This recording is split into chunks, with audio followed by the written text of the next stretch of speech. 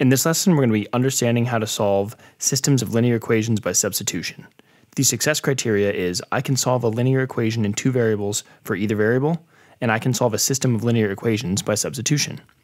Another way to solve a system of linear equations is to use substitution to obtain an equation in one variable. Then, solve the resulting equation and substitute to find the value of the other variable. This will make more sense once we go over our first example.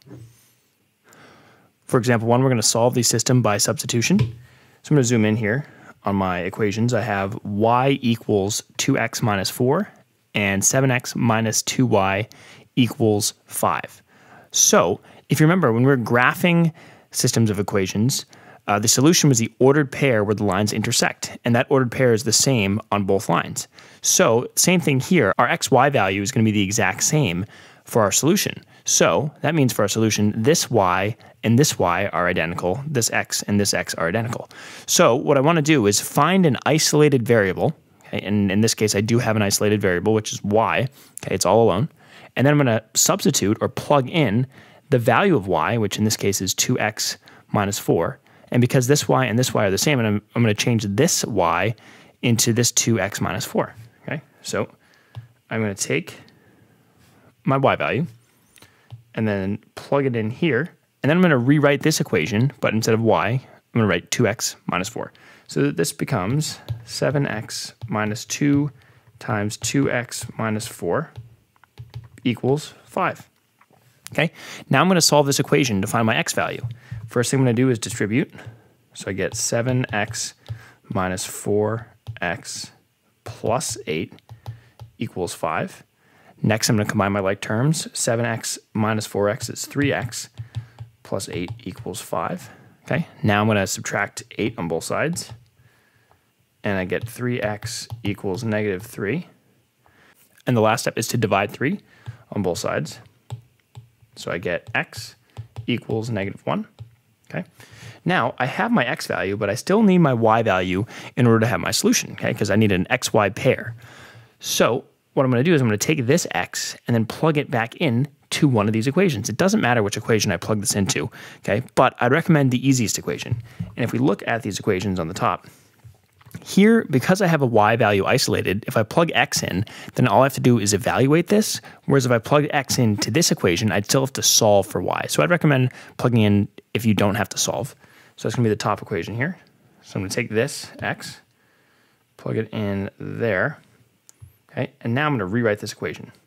So that's going to be y equals 2 times my x value, which is negative 1, minus 4. Okay, well, 2 times negative 1 is negative 2, and negative 2 minus 4 is equal to negative 6. So I have my y value now, and I have my x value down here, but I need to write my answer as an ordered pair. So it's going to be negative 1, comma, negative 6. So I've successfully solved this system of equations. I've got my solution.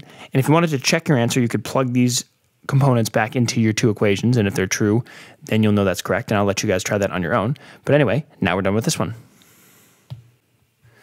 So in this example, we have another system of equations to solve.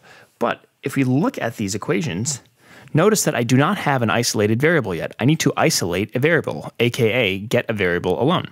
Now, I can isolate any of these variables. I can solve for this x, this y, this x, or this y. But once again, I want to make my life as easy as I can. And I notice that these three variables, the 2x, the 3y, and the 2x, they all have coefficients next to them and I see that this y does not have a coefficient next to it. So I'm going to solve for this y because I can save myself a step. But once again, no matter what variable you solve for, assuming you do everything correctly, it will work. Okay, I just like to make my life easier. So to solve for this y, I'm going to get rid of this plus 5 by subtracting 5 on both sides. So I get 2x minus 5 equals y. Okay, and now I have to plug this y value in to my other y value of the other equation, which is going to be this y. A common mistake would be to solve for an equation and then plug it back into the equation you got. And the reason that's not going to work is because we're not involving this equation, um, so that won't help you get your answer. Anyway, I'm going to plug this y in here to this y because remember, for the solution, it's the exact same ordered pair. So this y and this y are the exact same. So I'm just going to rewrite this y as 2x minus 5. So I get 2x plus 3 times 2x minus 5 equals negative 3. Now I'm just going to solve this equation to find my x value, distribute my 3. So I get 2x plus 6x minus 15 equals negative 3. Combine my like terms to get 8x minus 15 equals negative 3. And I can add 15 on both sides. So I get 8x equals 12. Now I just have to divide by 8 on both sides. And if I simplify 12 over 8, I get x equals 3 over 2. You could write this as 1.5 or 1 and 1 half. I'm just going to leave it as 3 over 2, but it doesn't matter. Anyway, now I'm going to plug this back in. And here it doesn't matter which equation I plug it back into because I have my x value and I need to find my y value. But what I would recommend is actually plugging it into the variable that we isolated for, okay? We got this y alone, so if I plug it into this, I won't have to solve anything, I'll just have to evaluate. Whereas if I plug it into one of these two equations, then I'll have to solve it, okay? So I'm going to plug this in. Here we go. So that, that 3 halves is going to go in for this x, and I'm going to zoom in. So I get 2 times 3 over 2 minus 5 equals y. If you notice, these 2's are going to cancel out. So I'm going to cross these out and then rewrite this. I'm going to get 3 minus 5 equals y. And 3 minus 5 is just negative 2. So that's my y value.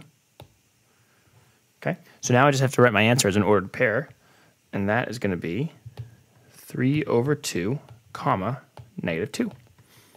All right, so I've successfully found my solution to my system of equations here, and now we're done. You are planning a birthday party. You buy a total of 50 turkey burgers and veggie burgers for $90. You pay $2 per turkey burger and $1.50 per veggie burger. How many of each burger do you buy?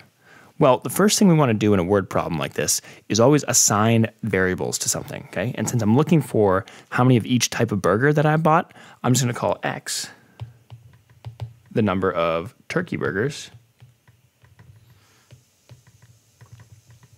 and y will be the number of veggie burgers.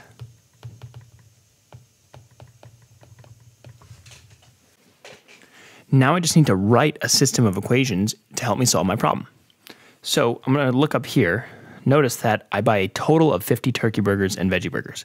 Okay. So to find the total of something, you just add them up. So I just have to add up the two types of burgers that I bought, which in this case are going to be X and Y. And if I add up X plus Y, I know that that's going to equal 50 total burgers.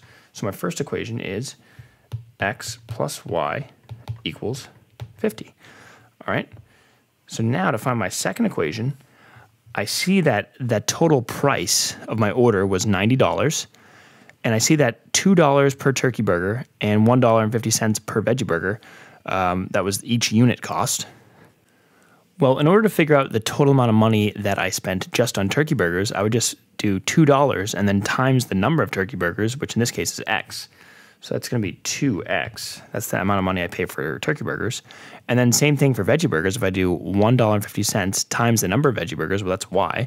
So that's 1.5 y. And if I add those up, so 2x plus 1.5 y, that's going to be the total amount of money that I spent on burgers. Well, I know what that is. That's $90. So I have all of this equals 90. And now I have my two equations. So all I need to do is just solve the system of equations in order to figure out the number of turkey burgers and veggie burgers. So this is the step where I need to isolate a variable. Okay, and it doesn't matter which variable I decide to isolate, but if you notice in the top equation, both of these variables do not have coefficients, aka their coefficient is 1, so it's going to be easier to solve for. In the last couple of examples, I had y alone, so this time I'm going to have x alone. So I'm going to rewrite this equation. I'm going to have x plus y equals 50. Okay, and then to solve for x, I'm just going to subtract y on both sides. So I'm going to get x equals negative y plus 50. Okay, and then I'm going to plug this value for x in here, which is negative y plus 50, into this x. Okay, a common mistake would be to plug this back into your original equation where you got this from, and that's just not going to work because you're not involving the other equation.